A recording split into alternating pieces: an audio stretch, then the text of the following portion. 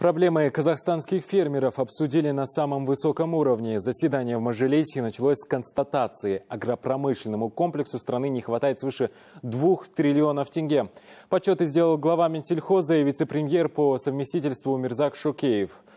А на что конкретно направят эти деньги, попросим рассказать Анвара Шаликинова. Он знает все подробности. Добрый вечер. О каких проблемах идет речь и зачем нужно столько денег?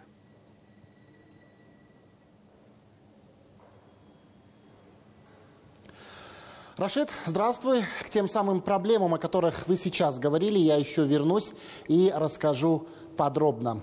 А начать хочу с того, что сегодня фойе зала заседания на несколько часов превратилось в ярмарку сельхозпродукции. В прямом смысле этого слова. Минсельхоз накормил депутатов перед заседанием правчаса. Ведомство, возглавляемое Шукеевым, предлагает интенсивно развивать мясное, молочное, животноводство и птицеводство. Именно продукцию этих отраслей предложили продегустировать депутатам. Так вот, Гульжана Карагусова охотно попробовала козье молоко, а Загипа Балиева интересовалась отечественным медом. Даже прикупила несколько килограммов. А где масло? Масло, масло на той стороне. Вот масло есть. Масло у нас там. Масло вот у там. масло. Она, нет, это, Это сыр. Вот, вот масло. А вот можете вот ложечкой прямо вот это это, хаймасло. вот, это сметана козья очень. А теперь к тем самым проблемам, которые существуют у фермеров. Их озвучил сегодня Умерзак Шукеев. Отечественные аграрии не могут правильно реализовать свою продукцию. Внутренний рынок забит отечественными сельхозтоварами, поэтому вопрос рынков сбыта становится первостепенным, заявил глава Минсельхоза. Продукты, которые потенциально могут поставляться в зарубежные страны и пользоваться там большим успехом, это в первую очередь говядина и баранина. Из всех 30 видов продукции только по пяти у нас еще есть место на внутреннем рынке. По остальным продуктам мы уперлись в спрос. Также МСХ разработала долгосрочные отраслевые программы. Мы планируем создать более 80 тысяч семейных ферм, занятых скотоводством, овцеводством и коневодством. Расширение площади используемых пастбищ с 58 до 100 миллионов гектаров. Увеличение поголовья крупного рогатого скота до 15 миллионов голов. Овец до 30 миллионов голов.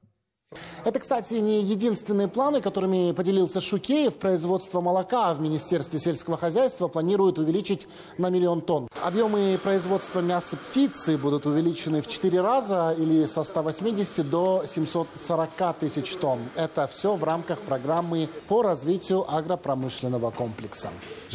Эту программу они провели через свою практику. Она имеет реальных субъектов, тех, кто готов ее принять и реализовать. Не в тиши кабинетов чиновники нарисовали программу. У нас есть 150 племенных хозяйств. Наша задача за 10 лет довести до 310. Я считаю, задача реальная.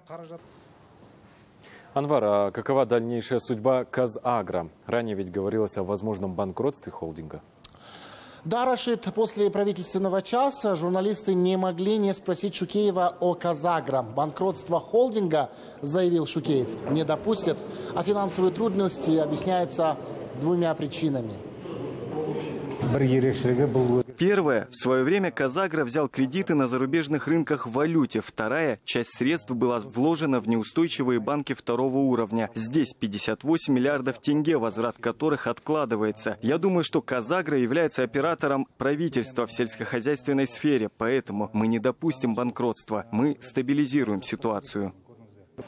Ну и напоследок я добавлю еще об одном новшестве от Минсельхоза. Ведомство внесло в парламент предложение по внедрению единого аграрного налога. Все потому, что поступление в бюджет от сельского хозяйства совсем мизерное. Кстати, дань аграрии, возможно, будут сдавать уже с осени этого года.